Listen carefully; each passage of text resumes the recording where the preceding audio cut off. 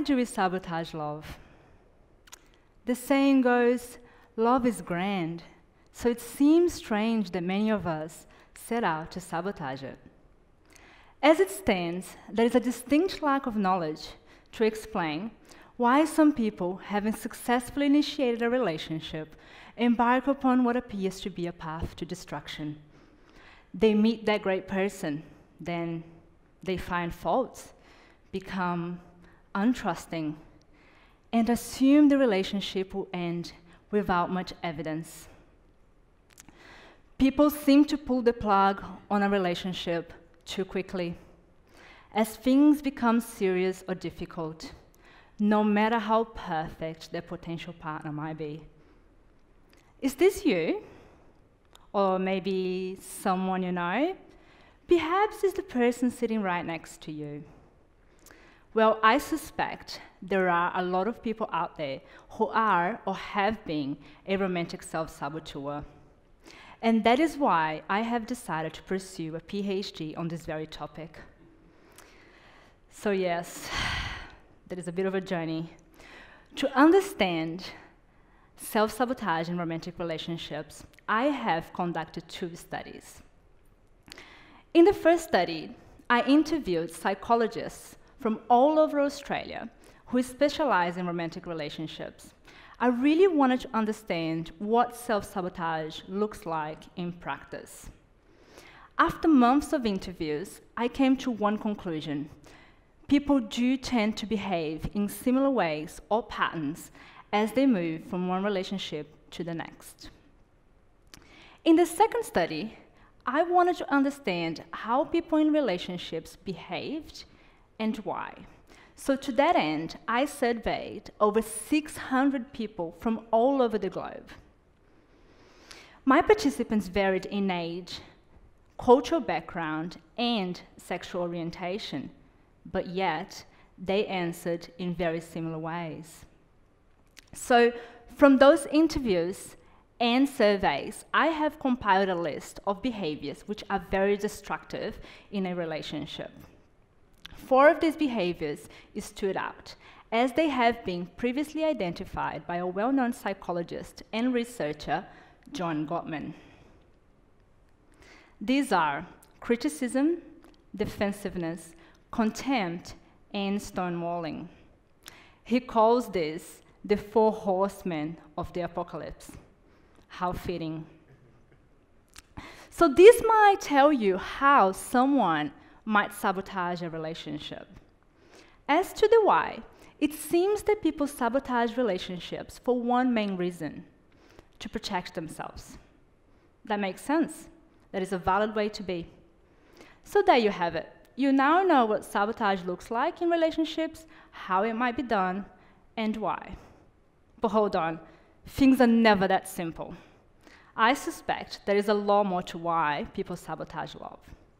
So, what I'd like to do today is to walk you through some of the responses from people in my study.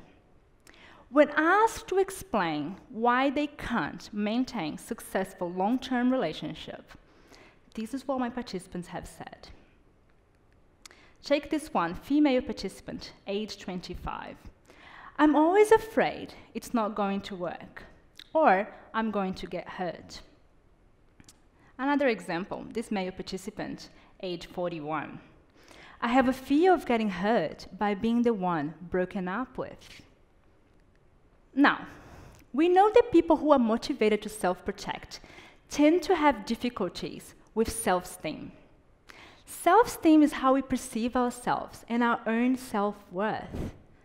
But this concept is highly validated by social interactions. Let me show you another example. This female participant, age 34. I avoid people who like me. I think there is something wrong with them.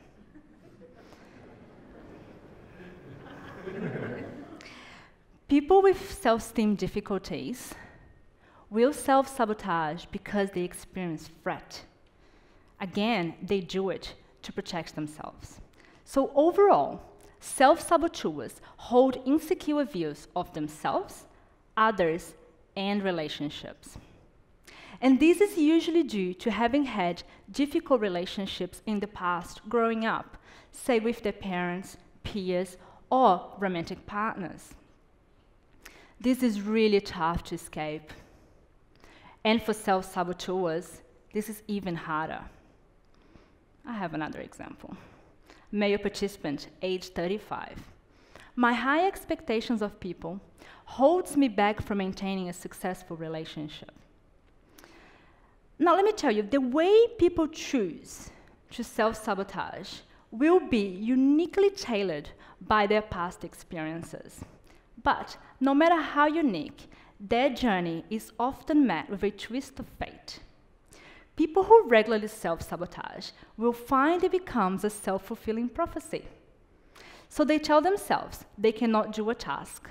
Their claims will translate their performance into real outcomes. It's like staring into a crystal ball, knowing exactly what's going to happen. I have more examples. Female participant, age 25. I put myself in relationships which are doomed to fail from the start, as I have a fear of being abandoned. Another female participant, age 25. I know that me trying to maintain a distance like that is one of the reasons my relationships always fail. I have countless examples just like this. But one of them is actually standing right in front of you. Hello, my name is Raquel. I am a recovering romantic self saboteur.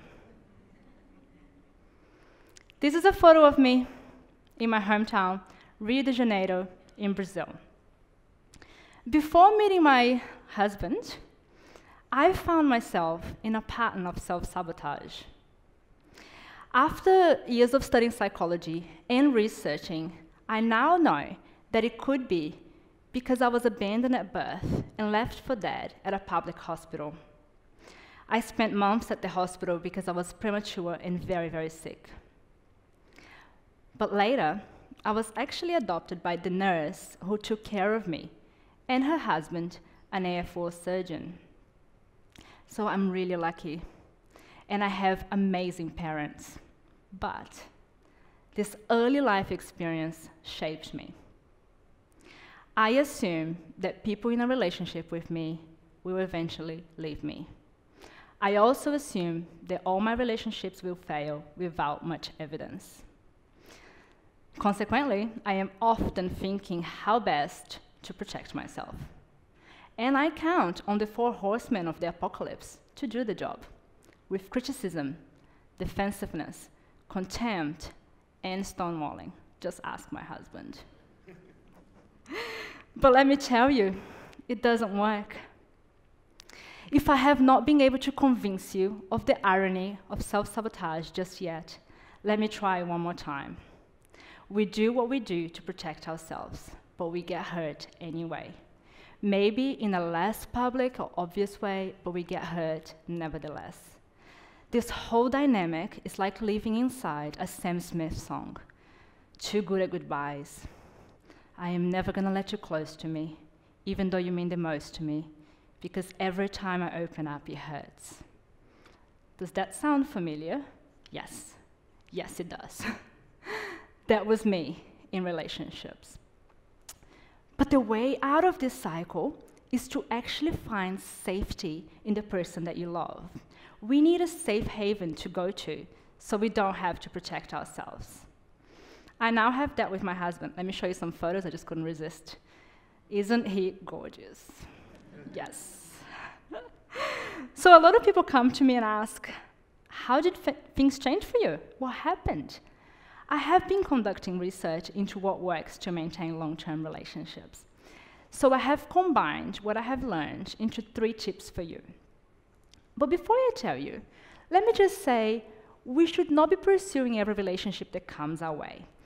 I would like to tell you to pursue those relationships that have the potential to work. They are good.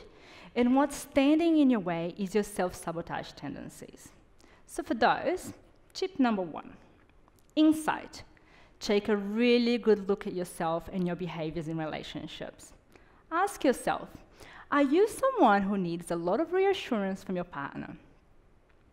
Are you someone who gets nervous when things get too close? Are you someone who counts on the four horsemen of the apocalypse to protect you? If yes, you could be a romantic self saboteur. But please don't shoot the messenger. I know these are very uncomfortable questions. I just needed to think about it. I have told you my reasons for wanting to protect myself. What are yours? Tip number two expectation. Think about your expectations of your romantic partners. Do you expect they should know what you are thinking or want all the time? Do you get frustrated when they're not living up to your expectations or standards? Are your expectations even realistic? And tip number three collaboration. We need to figure out how to collaborate with our partners and how even to be vulnerable together. Are you and your partner in the same team? Do you talk to your partner about your relationship goals? Do you see you and your partner together long term? Now, those tips are not an overnight solution or a one size fits all solution. So it's going to take a lot of work and a lot of patience, believe me. And there might be a lot more than you need to implement than just these three tips. But this is a good start, okay? Because after all, a lot of what I have talked about here today is nothing new. What it is new is turning the lens on yourselves and starting to figure out what you can do to maintain long term and healthy relationships. Change is really hard, but not impossible. I have been on this journey now for eight years, eight months, two weeks, and three days. so if you are someone who needs to break the pattern of self sabotage, please be kind on yourselves. It's natural to want to protect yourself, but the way out of it is to have insight into who you are in a relationship, your expectations of your romantic partners, and how best to collaborate with them. Because after all, if you know who you are in a relationship, your partner will also have a chance to get to know you. And together, you can break the pattern of sabotage. Let me finish by saying this Love will never be easy, but without self sabotage, it is a lot more reachable, believe me. Thank you.